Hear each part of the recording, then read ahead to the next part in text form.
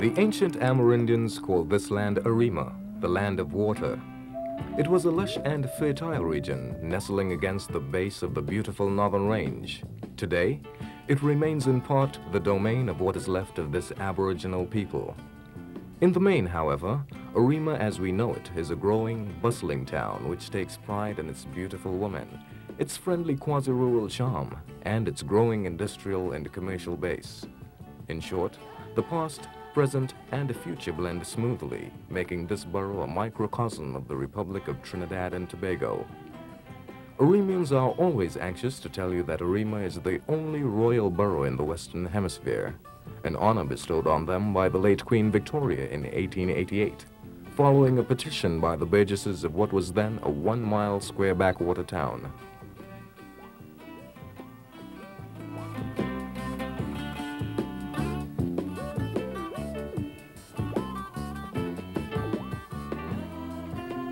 In August of 1986, Arimians celebrated the 98th anniversary of this royal favor when they hosted the Lord Mayor of London.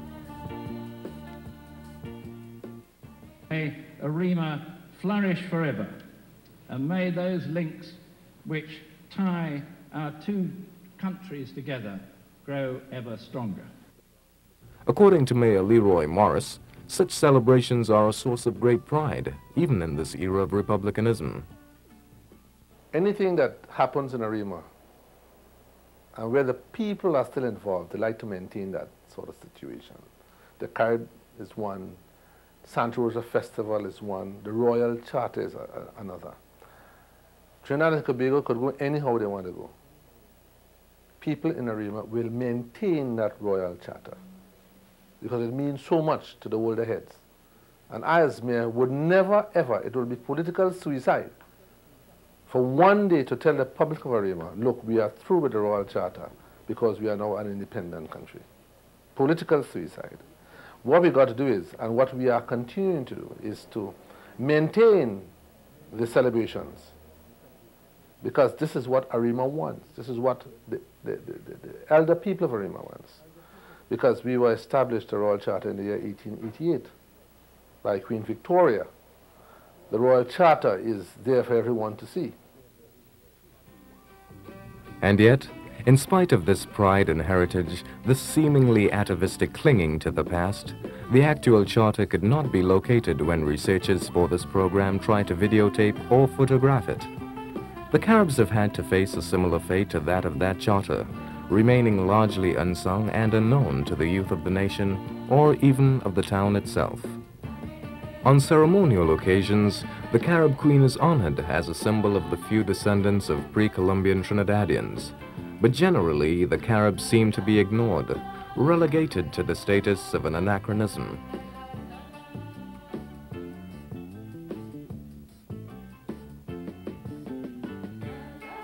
Mayor Leroy Morris, however, does not agree with this viewpoint.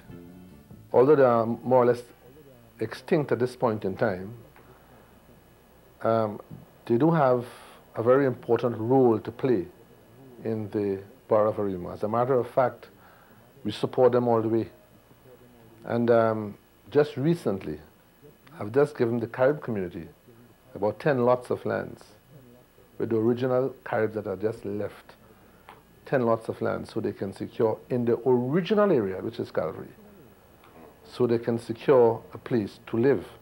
The Carib have their own center, the old culture and that sort of thing.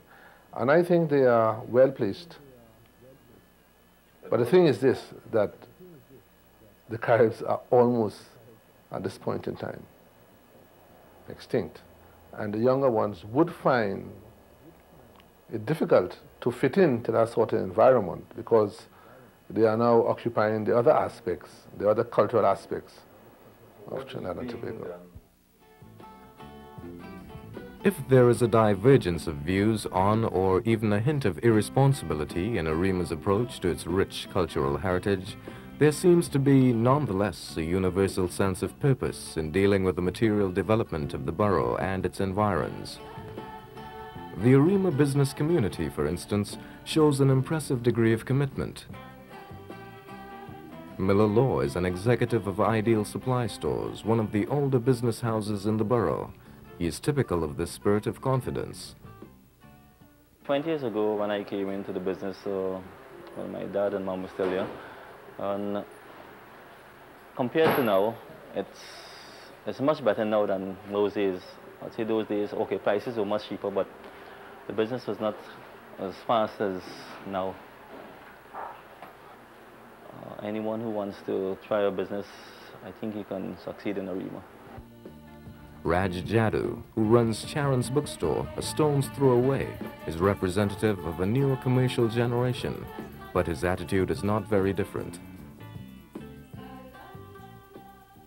Being a marketing man is that looking at the whole East-West corridor, we thought that it was fit to come in into Arima because you find that it was very inconveniencing for people to leave, let's say Arima, Sangre Grande, even Tunapuna, and go for books in Port of Spain.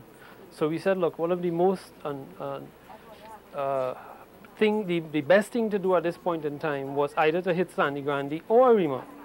But we already got a chance in Sandy Grande, so this, we all decided, well, look, the best bet is to come to Arima. Now, with the help of my brother, of course, who is, he is versed in books and stationery, so, of which at that time I was not, is that we said, well, look, this would be the best opportunity, is to try our best in, in Arima. It already had one or two other bookstores, but they were not efficient, I, I should say, and not servicing the schools the way that they're really supposed to. So we took advantage of a situation like that, and I think it has proved to be damn good. The Arima is best syndrome is not restricted to older business houses, to indigenous Arimians, or even to those who operate in the center of town. On the O'Meara Industrial Estate, which has only recently become an integral part of the borough, the same quiet pleasure in commercial geography is equally evident. At Specialist Furniture Limited, we spoke to two directors, Simon Healy and Romeo Belfonte. We realized there was quite a degree of labor in the Arima area that we could draw on. We started on a very small scale. Um, in fact, when we started, we started with eight employees, including ourselves. And we started on the Eastern Main Road just as you approach Arima in a two-story house that we converted into a manufacturing operation. Um, three or four years later, we put plans afoot to move into this industrial estate here in Arima. I would say um, we're satisfied with the move that we've made to this industrial estate.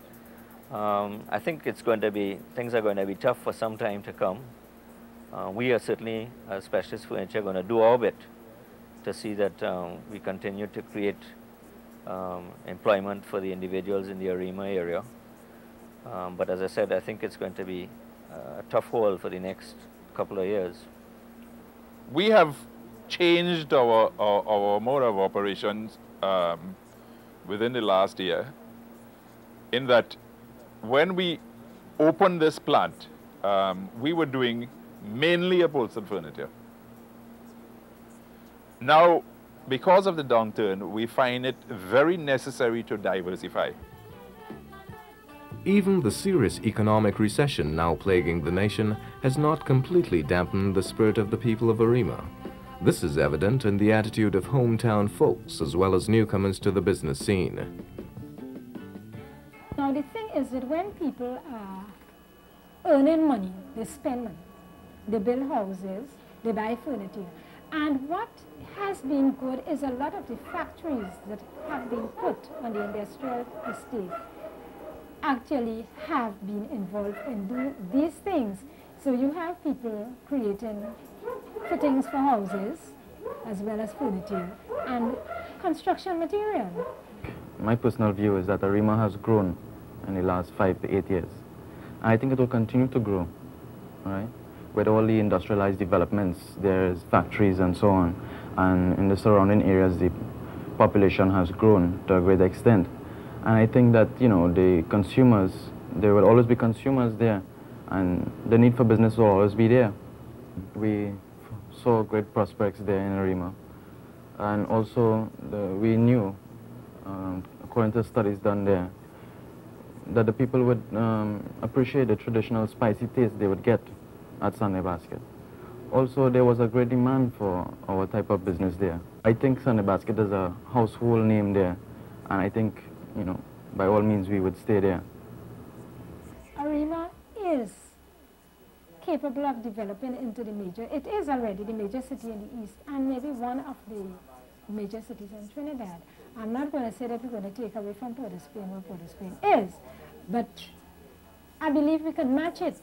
Another important thing that is always overlooked is the proximity of Arima to Piarco Airport. The feeling of optimism and pride in the physical growth of Arima can be partly attributed to changes in political geography, which has resulted in a 16-fold increase in the area of the borough overnight, from 1 mile square to 4 miles square. The borough now incorporates the dormitory communities such as Malabar, as well as the O'Meara Industrial Estate, giving a new sense of identity to previously peripheral housing clusters and business enterprises. Of course, this expansion has placed severe additional strains on already overburdened social services, such as education, health, and sanitation facilities.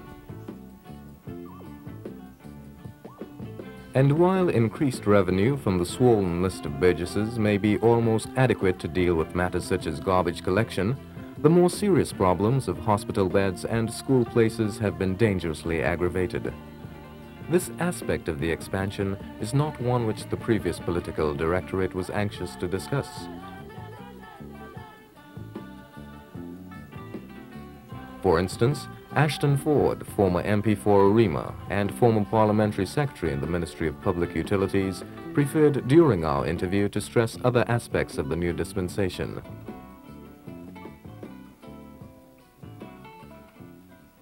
Nothing stopping the council from utilizing the resources of the burgesses in Arima, or any other council for that matter. The, the, the ordinance gave them that power.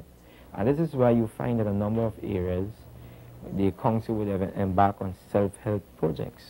I know for a fact the, the, banks, the commercial banks, assisted the council in one or two projects at the Princess Royal Park. There's nothing to stop. It is because we have grown accustomed and we, we are dependent on central government that there is the uh, feeling that we cannot do anything without the input from central government. But the ordinance is there, it gives them the right to do it and to embark on self-help projects. Uh, there's nothing to stop that.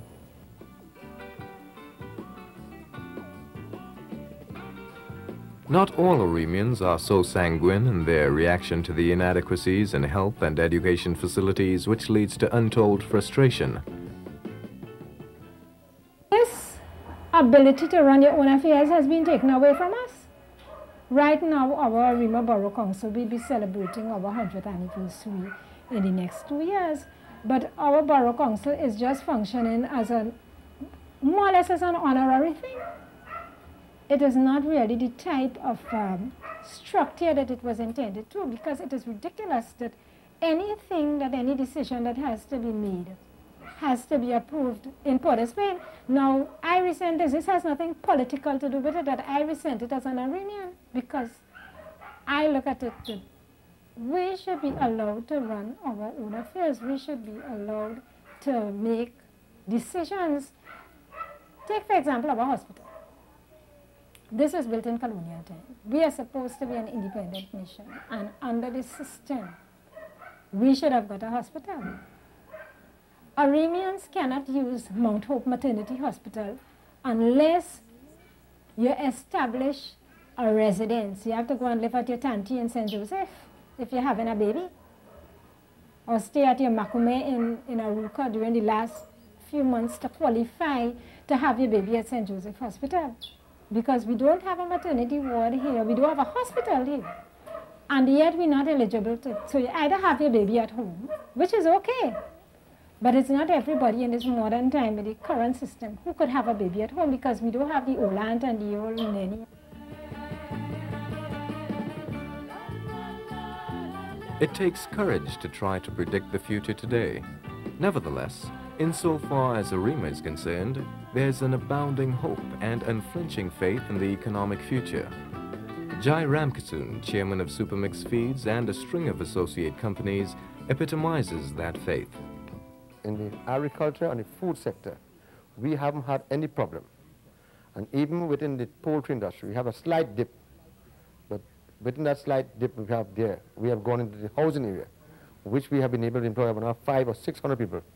So the little slack that I had in my feed milling and the farming, I took over to the housing. And also we are now employing more and more people in the housing sector. So therefore recession has not really taken any toll at all on me.